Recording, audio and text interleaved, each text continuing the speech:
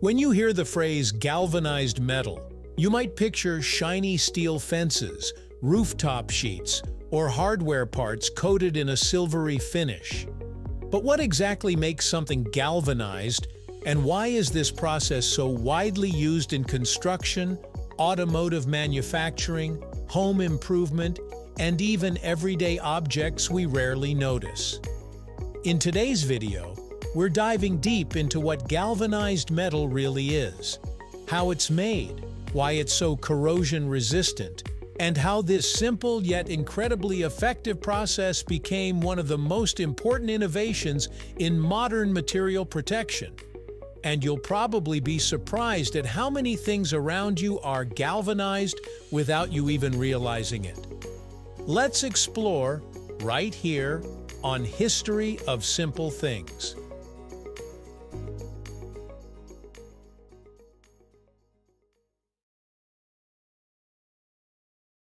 At its core, galvanized metal is simply metal, usually steel or iron, that has been coated with a protective layer of zinc.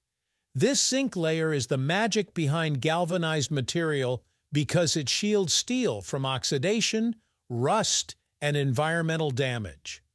The word galvanized comes from the name of Italian scientist Luigi Galvani, whose experiments with metals and electric stimulation inspired the term.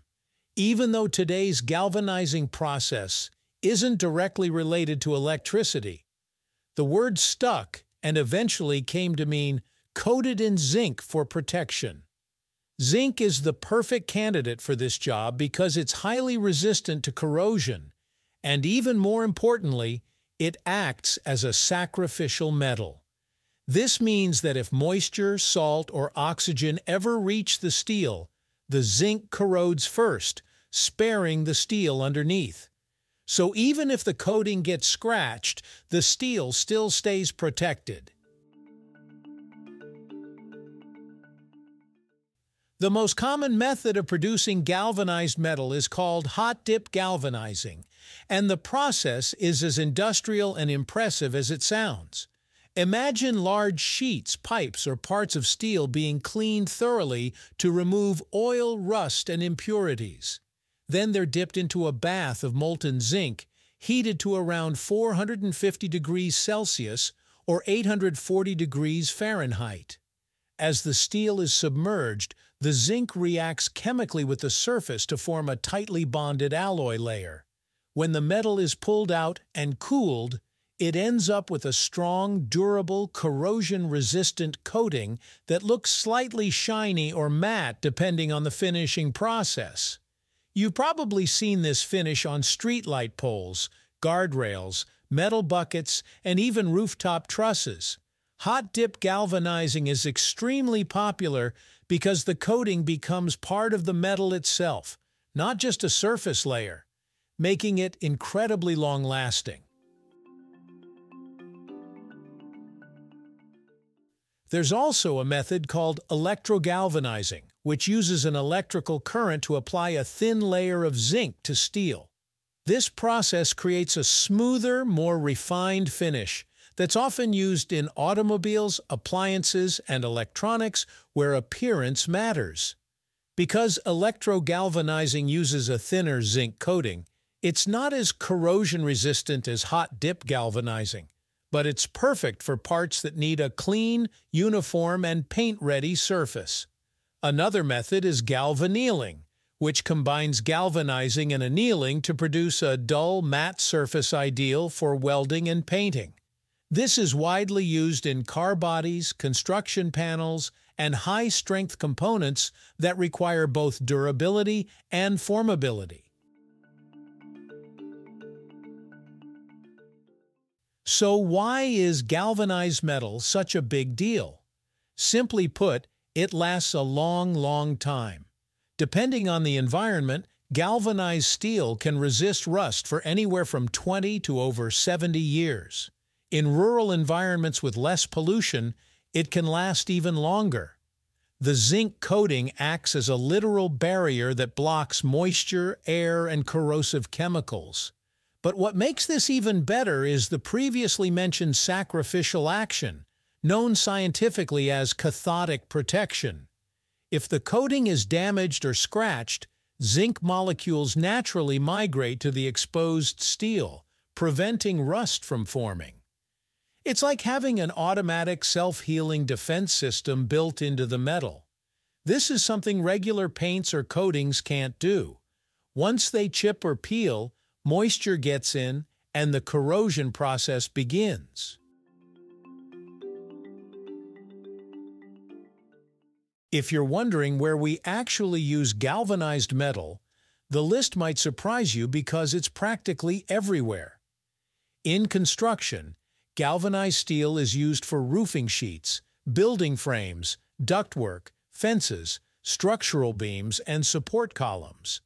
In infrastructure, it's found in highway guardrails, utility poles, bridges, drainage systems, and street furniture. In daily life, you'll see it in nails, bolts, laundry tubs, water pipes, bike frames, toolboxes, and countless household items. Its durability and affordability also make it a favorite in agriculture, where it's used in irrigation systems, animal enclosures, and grain silos. Once you start paying attention, you'll notice just how many parts of modern life depend on the reliability of galvanized metal. But despite its strengths, galvanized metal isn't perfect. It performs extremely well outdoors, but harsh environments like coastal areas or industrial zones with high chemical exposure can shorten its lifespan. Salt, in particular, can accelerate corrosion, which is why marine structures often use specialized coatings or stainless steel instead. Another limitation is that welding galvanized steel creates fumes that must be controlled. And for projects requiring extremely smooth or aesthetic finishes, raw galvanized coating may need to be painted or powder coated for a cleaner appearance. Still, for most general applications, galvanized metal offers the ideal balance of protection, cost, and longevity. In the end, galvanized metal is more than just steel with a coat of zinc. It's a material that has shaped modern construction, transportation, and manufacturing. By giving metal the ability to resist rust and survive decades of exposure to the elements, galvanizing has helped make buildings safer, infrastructure stronger, and everyday products more reliable. Whether you're building a house, repairing something at home, or just curious about how the objects around you are made, understanding galvanized metal gives you a deeper appreciation for the hidden engineering that keeps our world running. So the next time you see that dull silver finish on a piece of steel, remember, there's a whole science behind why it lasts as long as it does. Thank you for watching. If you have suggestions for our next video, feel free to share them in the comments below. We'll be sure to give you an acknowledgement for your contribution. If you enjoyed this video, please check out our other bingeable channels. Thank you for joining us on this journey through the history of simple things. Don't forget to like, subscribe, and stay tuned for more stories woven through the smallest details.